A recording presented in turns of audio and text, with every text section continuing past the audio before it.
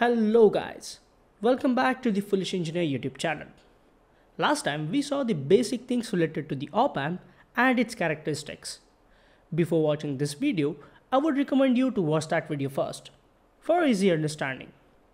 Today, we are diving into the fascinating world of the buffer circuits. So, let's start.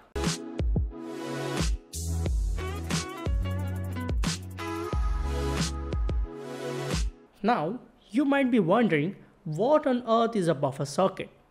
Well, imagine an electronic device that can take a weak delicate signal and turn it into a strong robust input. That's precisely what a buffer circuit does. It's like giving your signal a protein shake and a fancy suit. Picture this. You have a square wave signal of plus or minus 10 volts with frequency of 100 kHz. But here's the catch. This signal strength is very poor. It is coming from a source which has a very low current capability, let's say in the range of tens of milliamperes.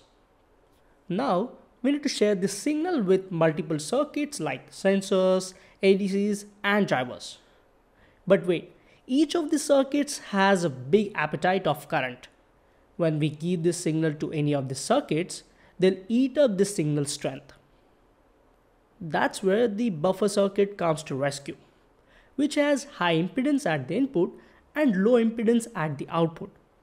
The circuit takes a very small amount of current from the source, ensuring a signal strength remains intact.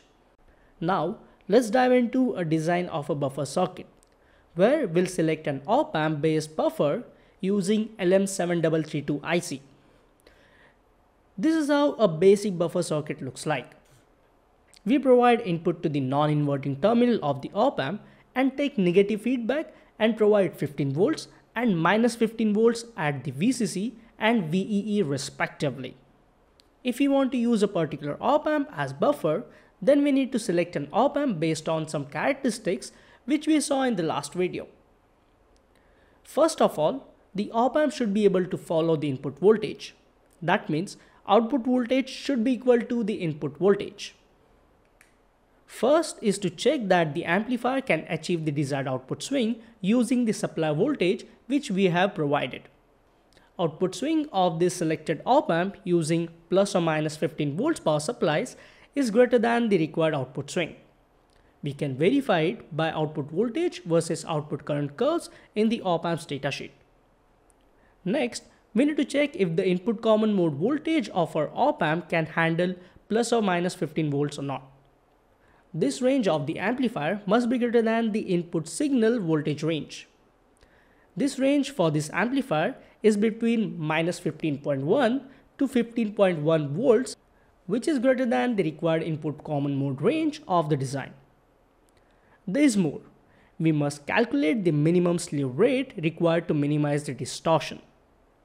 We can calculate it by using this formula, where Vp is the maximum input voltage and f is the signal's frequency.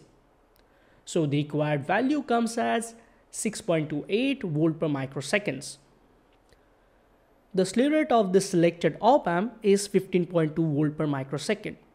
So this is also okay for this application. Lastly, we must ensure our op-amp has the bandwidth to handle our signal's high frequency. It's like checking if our op-amp can keep up to the pace. The unity gain bandwidth of an op-amp is 7.5 MHz and the desired output signal frequency is 100 kHz, which is less than this. So there is no problem. And now if we use the same circuit and simulate using this op-amp providing 100 kHz,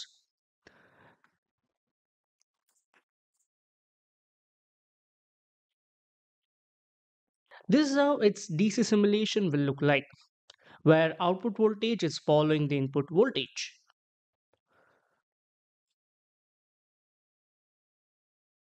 And if we see the AC sweep, the gain of the op amp decreases beyond a certain frequency. In this case, it would be around 7.4 MHz. Well, that's how we design a buffer circuit using op amps. I hope you picked up something useful from this. The reference of this design is added in the description. If you want to see some more videos like this, then please let me know in the comment section. And don't forget to hit that subscribe button as well. It is right next to it. I will catch you in the next such amazing video. Till then, stay hungry, stay foolish.